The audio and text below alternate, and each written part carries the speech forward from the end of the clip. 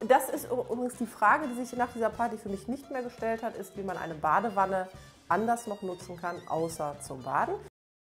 Ihr hattet so viele Fragen, dass wir noch einen zweiten Teil gemacht haben zu QA, Medizinstudium und eure Fragen, meine Antworten jetzt.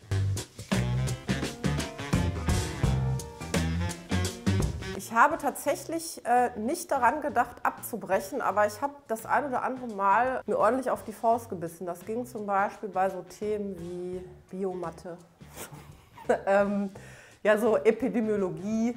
Also alles so Themen, die jetzt nicht so wirklich mit der Klinik äh, im Zusammenhang stehen und die sicherlich spannend sind. Oder bei der Doktorarbeit, wenn man Daten auswertet, das war das ein oder andere Mal, wo ich dachte, ob das jetzt so das Richtige ist. Aber der Zweck heiligt die Mittel, das Ergebnis zählt.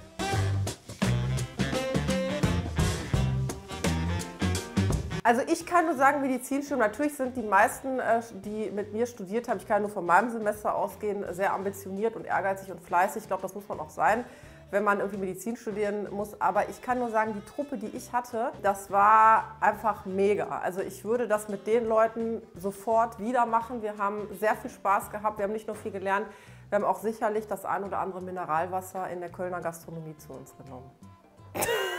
klappt mir wieder keiner, dann klappt mir wieder keiner. Ne?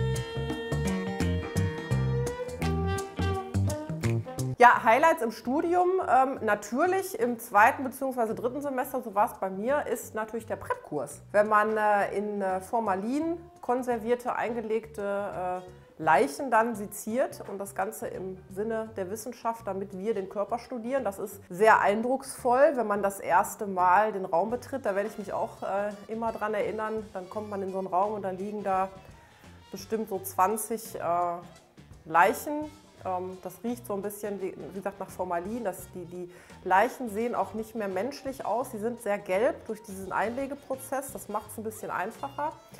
Und wenn man dann das erste Mal so eine Leiche anfasst oder vielleicht auch den Skalpell ansetzt, ist schon ein äh, komisches Gefühl. Komisch im Sinne von schön, weil es interessant ist, aber auch sehr, also ich hatte äh, maximalen Respekt dafür.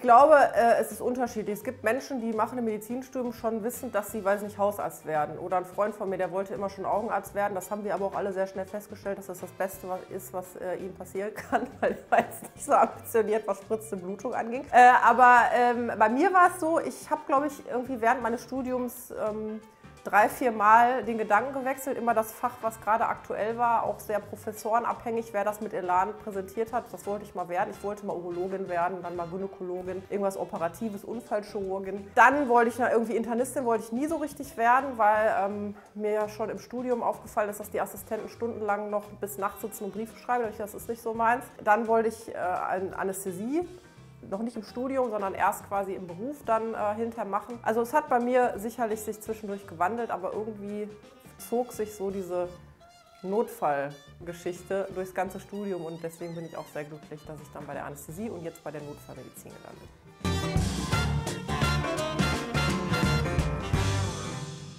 Nee, Plan C äh, weiß ich gar nicht. Ich habe mir da jetzt gar keine Gedanken gemacht. Ich habe ja Chemie ähm, abgebrochen, weil ich, ich war vor dem Vordiplom und äh, stand vor der Entscheidung, mache ich jetzt das Vordiplom, was auch mit einem vollen Semester Lernen zu äh, tun gehabt hätte oder wechsle ich, weil ich eigentlich wirklich wechseln wollte und gemerkt habe, ich möchte Medizin machen. Also habe ich dann Chemie äh, kurz vor dem Vordiplom hingeschmissen und habe ähm, zu Medizin gewechselt. Und äh, da ich das wusste, dass ich das machen will, gab es für mich also auch keinen Plan C. Und Medizin war ja auch eigentlich nicht mein Plan C oder B, sondern mein Plan A. Chemie war mein Plan B.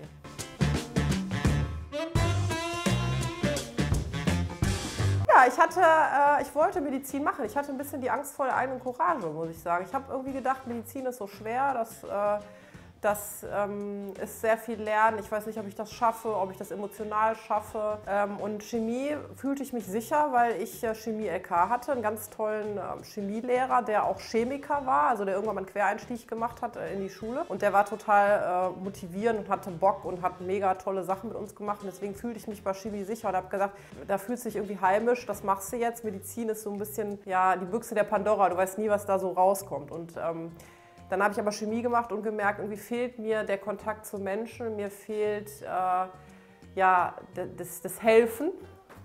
weil man macht es bei Chemie dann letzten Endes hinterher mehr im Labor, dass man hilft, sei es jetzt bei der Entwicklung von, weiß ich nicht, Medikamenten, Inhaltsstoffen, äh, äh, irgendwas, was man da im Labor halt macht oder ähm, am Menschen selber. Und deswegen habe ich dann Medizin gemacht, was ich eigentlich von Anfang an machen wollte.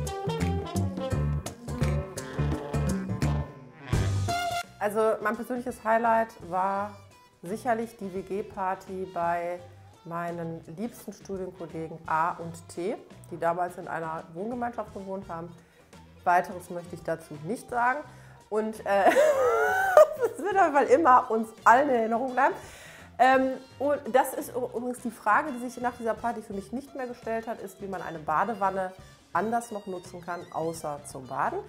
Äh, und dann haben wir ähm, noch sicherlich dienstags, muss ich sagen, in Köln legendär, niemals äh, oft niemals erreicht, das Ding. Ja, das war es schon wieder von mir zum Thema Medizinstudium, eure Fragen. Und wenn ihr vielleicht den Teil 1 verpasst habt, dann äh, verlinken wir euch den. Dann müsst ihr natürlich auch den Teil 1 anschauen.